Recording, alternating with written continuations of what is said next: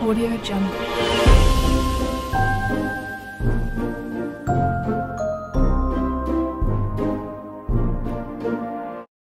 Hi everyone, it's Krista. Welcome to my channel. If you're new here, welcome. And if you're not new, hi again. So I love to do all kinds of DIYs on a budget, Dollar Tree DIYs, thrift flips, farmhouse, rustic, wreaths, and seasonal decor. So if you like what you see here, you know what to do. Hit that red subscribe button. Leave me a comment. I love to hear what you guys think. And also give me a thumbs up. That helps my channel. You can also follow me over on Instagram, Pinterest, and TikTok. But today is all about Hocus Pocus 2, yes.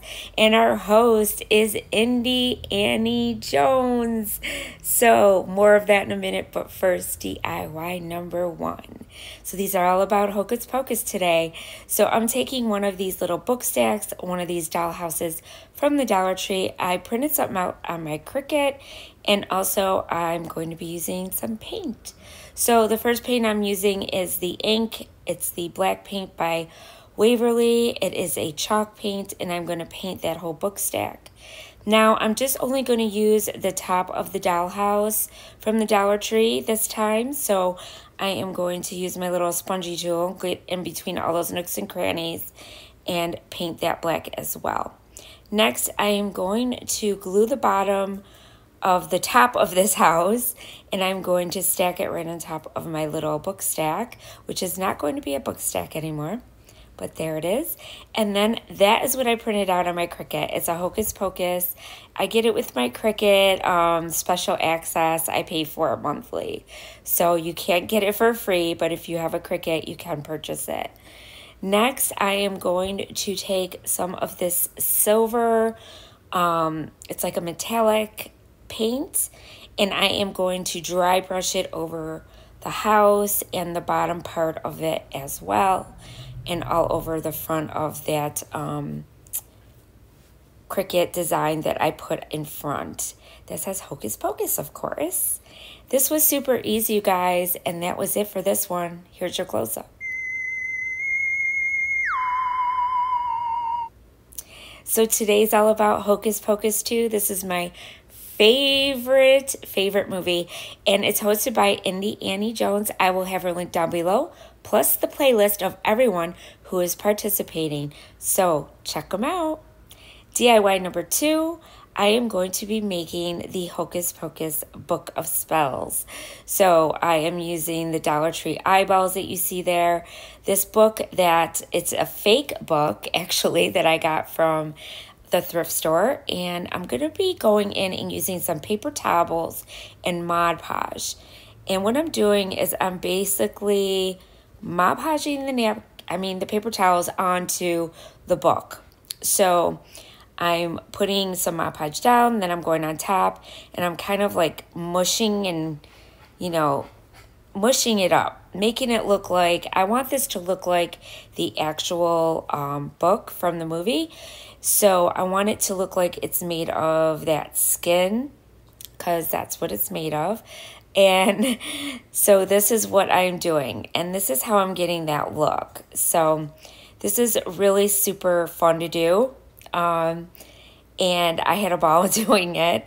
And I just kept doing this throughout the whole book. I did the top, I did the bottom, and the sides. Um, I wanted it to be completely finished and look like the real thing. So that's what I did. And I just kept ripping, tearing, and just kept putting more Mod Podge down and then using my sponge to kind of soak up, you know, the Mod Podge into the paper towel.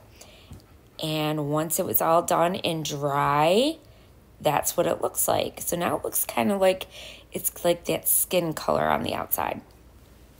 So next I'm going in with the color Cocoa Bean by Folk Art. And I am just using my spongy brush to kind of like dab it and get in there really good because I want it to be the same color as the book as well. But then I realized I should have put the eyeball down first. So this is what I'm doing. I stopped what I was doing. I took the eyeball, I took it apart and took the top piece off. This way it was flat to put on the book and then I put it right down. And now I'm taking one of these rubber snakes. Um, you get a package of these snakes at, I actually got mine at Walmart. I have not seen them at Dollar Tree. and I'm just cutting it apart and I'm making that round like little lid part for the eye eyeball and I'm going around it with that because I'm like, what am I going to use around this eye? And I figured this was a good idea. So that's what I did. I just cut it in pieces and kept like, because it has the curves, you know, on the snake. So it went around the eyeball really, really well. So then I ran out of black. So I just went in with the other colors. It really didn't matter because it's all going to be one color anyways. So once I get that all done, and then I'm going to take some more snakes and I'm going to paint, paint, I'm going to glue two of them down in the corners like so, just like the book. And that's in the movie. And then I'm going to do the same thing on the bottom, just so it's kind of like kitty corner. It looks like the snake's moving around the corners of the book. And then I have two snakes going close to the binder of the book. And once I get those all nice and glued down, I should mention that the hot glue did not work very well. So I had to use also some super glue. Just a heads up on that one. And next, I'm using my hot glue to make like the little stitches and those lines that are on the book. Um, I don't know if you guys have ever seen Hocus Pocus, but if you haven't, you gotta watch it. It is the best movie, Halloween movie of all time, guys. And um, yeah, this is what's on the book. So I'm using my hot glue gun to make those little lines. And then on the side of the book, I am writing the word spells because that's what it says on the book. So that's what I put on the side. And I also put a couple more on the back of those little uh, lines that you saw me drawing with the glue gun and also on the binder as well. And then once I get those all done, that's when I'm going to go in and paint everything. So using these sponge uh, sponge brushes from the Dollar Tree worked really, really well for this type of a project because it got in all those nooks and crannies really well. So there it is. Now I'm going to do the sides. And next I'm going to go in with a lighter tan color paint. And I'm just going to mix a little bit of the cocoa bean, I'm sorry, coffee bean. I keep saying cocoa bean. and I am going to do a dry brush over the book. Now, this went on a little heavy at first, so I just grabbed a wipey and I kind of smudged it in, and it was fine. So the top of the book was kind of like glossy after the Mod Podge, so it worked out really, really well because when I wiped with the wipey, it wiped right off. So it was perfect. But I wanted this to look like that skin color, but also have the dark colors of the backing of the book as well. So that's what I did with a dry brush. And whenever I went in some heavy spots, I just kind of smudged it in a little and it made it look even better. So it turned out so much better than I expected. And I'm so happy with how this turned out. And there it is, all nice and dry brushed.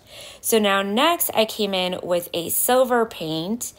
Um, it's like a metallic paint and I'm going to dry brush on those um, snakes. So I wanted those to kind of stand out to look a little bit more like they were metal and not too much blended in with the book. So I just gave them a little dry brushing of this silver metallic paint and it worked out perfectly. And I think this thing came out so good. I showed my kids and they were like, wow, mom, that's awesome. And I was like, well, I got the seal of approval because if my kids like it, it's a good thing. so here it is.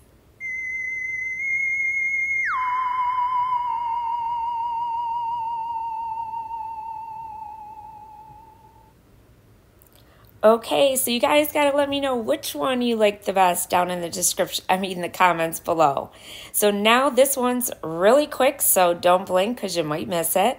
I got these candles from the Dollar Spot at Target, and I am just going to make the black light candle. And I don't know if I did that good or not, but anyways, you know what I mean. And it's a black light, and here it is.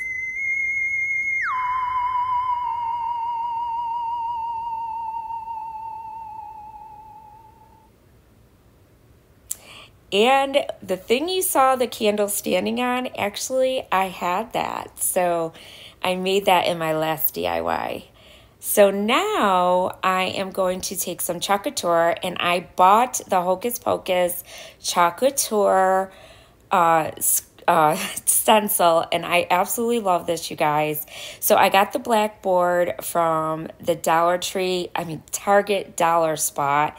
And all I did was fuzz it. That's what you do. I'm a Chalk Couture designer and I um, had to make the sign. So I'm using some wood chalk paste, and I will have the link down below to Chalk Couture if you are interested in, you know, purchasing anything or taking a look at what's in the shop. And if you have any questions, just feel free to leave me a message and I will get back to you about it. But it's super fun. It's so easy to use and I absolutely love it. And I'm just using my little uh, squeegee to, you know, pull it through my stencil.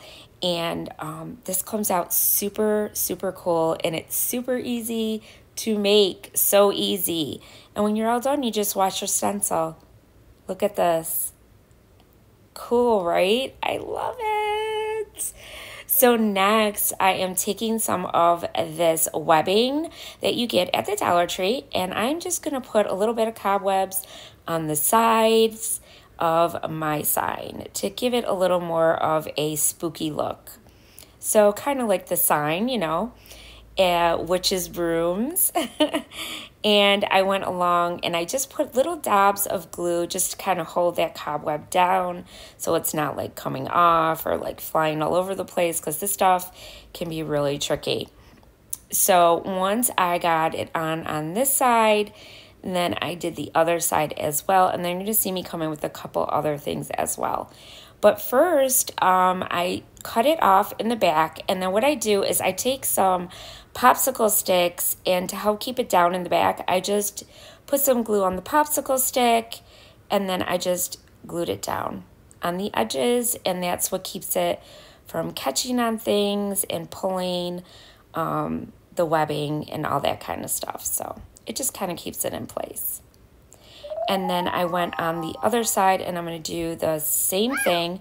But first, I'm going to take some of these rings, these spider rings from the Dollar Tree as well. And I'm going to glue those down, just a couple of them in the little web there. And then on the other side is where I'm going to put the other webbing. So I kind of want to have it on both sides. And I thought all that space that I had on both sides of this picture uh, frame that, you know, on this board, it was going to be perfect. So it turned out really great. I love the sign and I'm so happy I got this Chalk Couture stuff because these are the easiest DIYs, I tell ya. And then I took one of the bats from the Dollar Tree and I glued that in the corner as well on the other side there and I just made sure I held it down until it set. And, then I came in with some more silver. This is the steel color by Waverly. And I just kind of did like a light dry brushing on the bat and the um, the spiders just to give them a little more something, kind of make them pop a little more away from the dark sign. And they that just worked out perfectly as well. And there it is, you guys. And that's it. Here's your close up.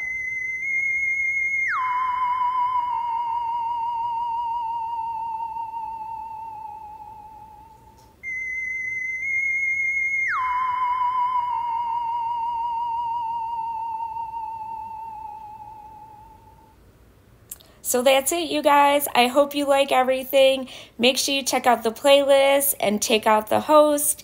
And I will see you guys again soon. And remember, stay crafty. Bye.